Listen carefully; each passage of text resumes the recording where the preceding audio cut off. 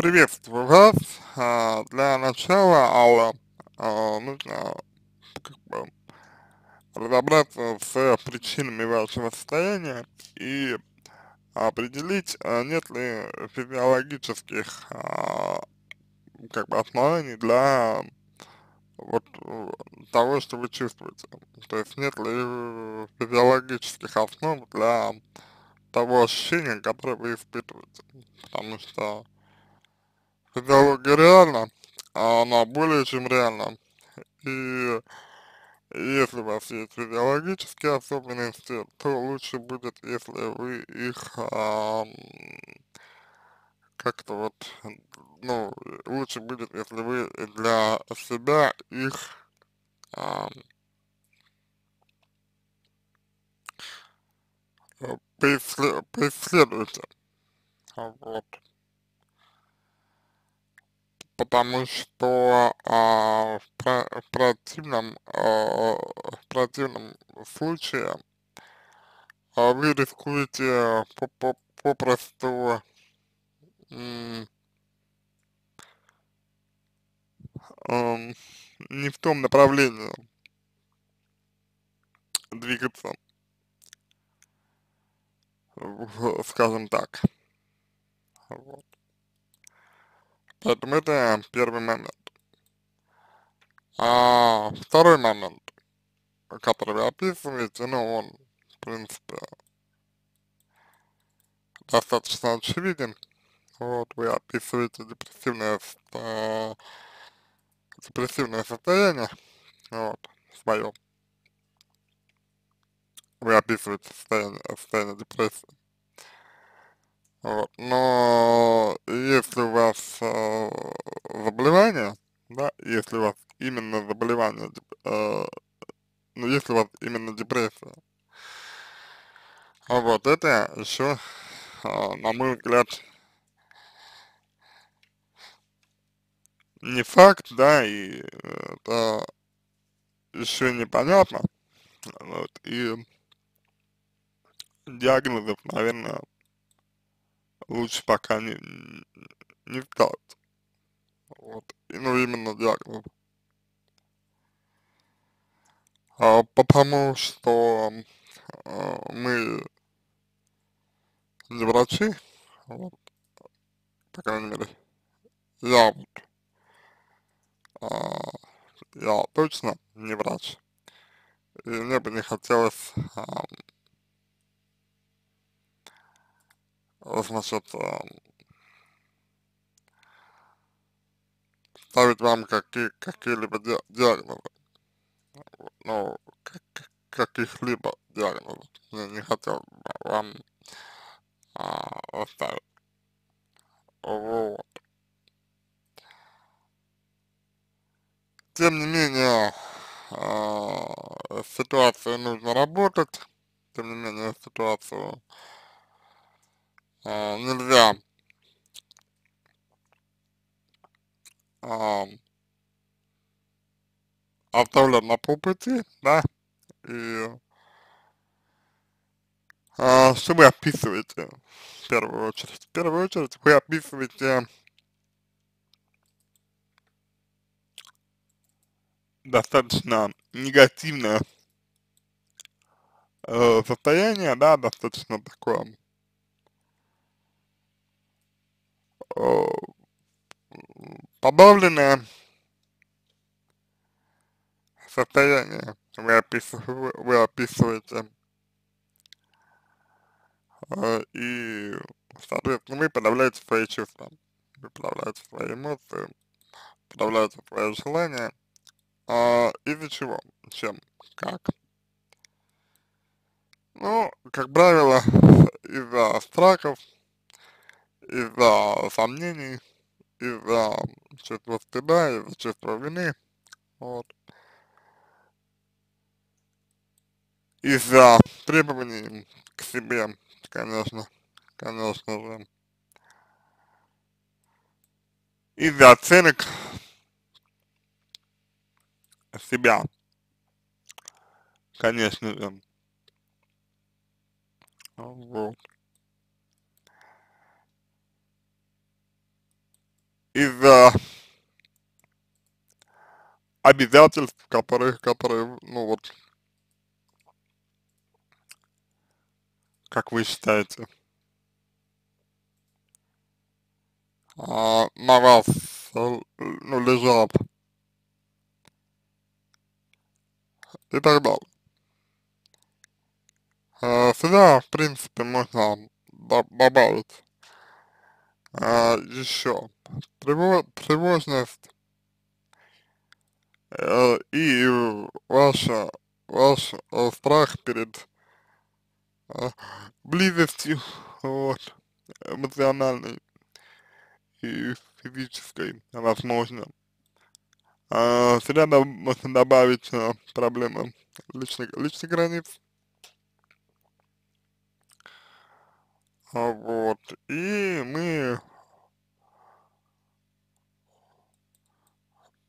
получим,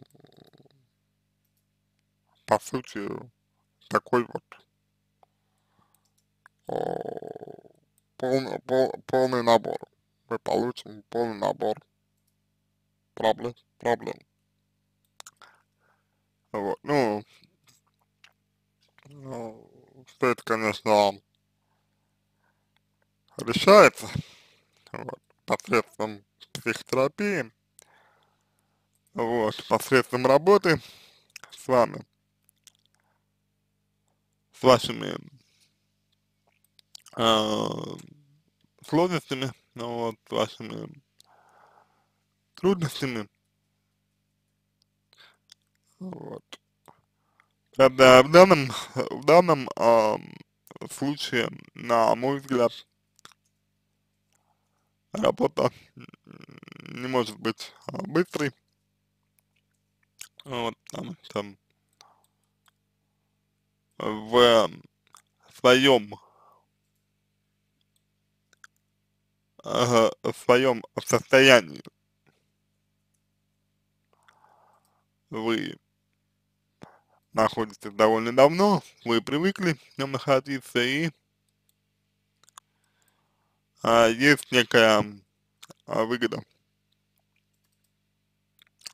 вторичная, вторичная выгода вам от этого состояния. И эта вторичная выгода, она удерживает вас в нем. А, ну вот, ну в этом, в этом состоянии. А, какая может быть вторичная выгода? Мне кажется, здесь э, одна из, то есть я думаю, что их несколько, но одна из а, вторичных выгод заключается в том, что вы можете не заниматься чем-то. То есть вы боитесь ответственности, ответственность для вас это обязательство, что в целом вполне, вполне адекватно. Ну, потому что а, ответственность это всегда очень тяжело. Вот, по вашему мнению, что опять же адекватно, исходя из вашего опыта, я полагаю. То есть тут все, а, тут все более чем очевидно. А, присутствуют негативные а, установки, у вас присутствуют негативные, а, негативные, так сказать, тренды мышления, вот, присутствуют негативные а, так сказать, э, реакции, да, вот, и их, на мой взгляд, э, нужно корректировать, вот, потому что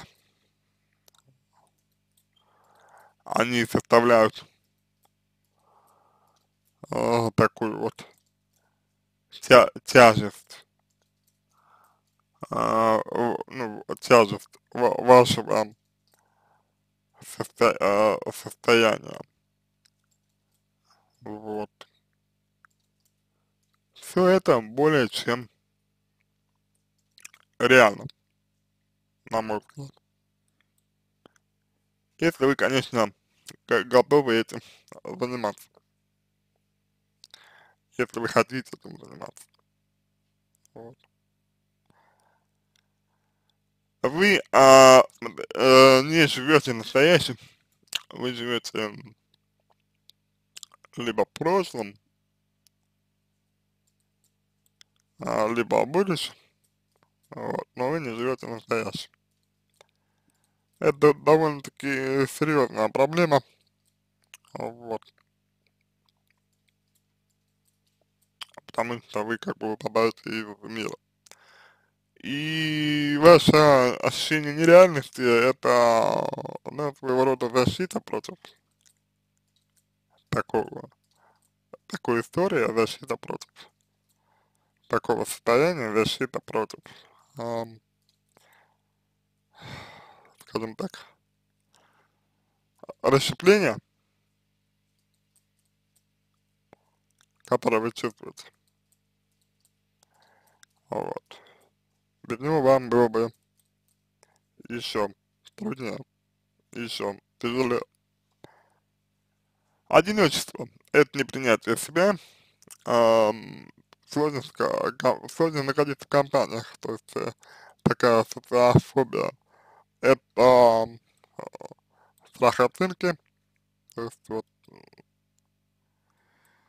Э, общение с людьми это ну, как бы такой своего рода экзамен, экзамен это постоянный стресс, соответственно, все как бы, как бы становится понятно. А, вы пишете, что я не понимаю, как жить, но, извините, не нужно понимать, как жить, нужно чувствовать скорее. Раздражительность это не выражение вовремя своих чувств, не отреагирование их. Грубость это агрессия, агрессия это защита. А, соответственно, чувство вины, да, то есть вот чувство вины, э, такие вот грубость вина, грубость вина, это вот э, по факту э, компенсация вашей неопределенности. То есть вы себе не верите, и вина, и грубость позволяют вам делить мир на черное-белое. А также постоянно хочется плакать. Это выглядит и выглядит как компенсация э, любви к себе. Не любви к себе, а отсутствие любви к себе у вас. Вот. А, что касается мужа, то тут, а, то, что он приходит с работы в настроении, но потом видит вашу кислую мину, и него, оно у него портится, это про личные границы. Вот. То есть заражение между людьми происходит, когда слабые достаточно личные границы. А так не хочется ему плохого, ну, вы не можете ничего плохого сделать, это полная ответственность человека, но вы, но вы на себя ее берете. А, так, значит, э, чаще всего приходят мысли о побеге, о разводе. Ну вот, да, вам проще убежать, вы боитесь.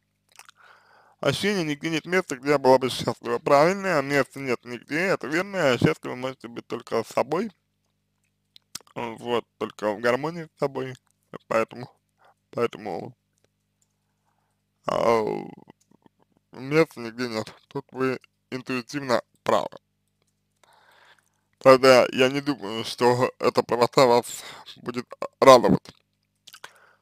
А дальше, а, несколько месяцев назад было полегче, так как проживала в другом городе, муж хотел перспектив, карьерного роста, мы приехали в северную столицу. Моя профессия оказалась здесь не актуальна, так как пришлось снять жилье на окраине. Смотрите, а, здесь вы говорите больше про некую такую непредусмотрительность свою, а, то есть вот, вы не предусмотрели каких-то каких вещей. Ам, так, муж нашел работу, ему все нравится. Мне же просто ужасно из-за влажности воздуха, темноты, мне кажется, что я не буду я в нереальности. Нет, на самом деле, все несколько, несколько проще. Вам просто неинтересно. А, ничего. И ваш ресурс энергия, энергия тратится на проживание, а, ну, негативное проживание, проживание города.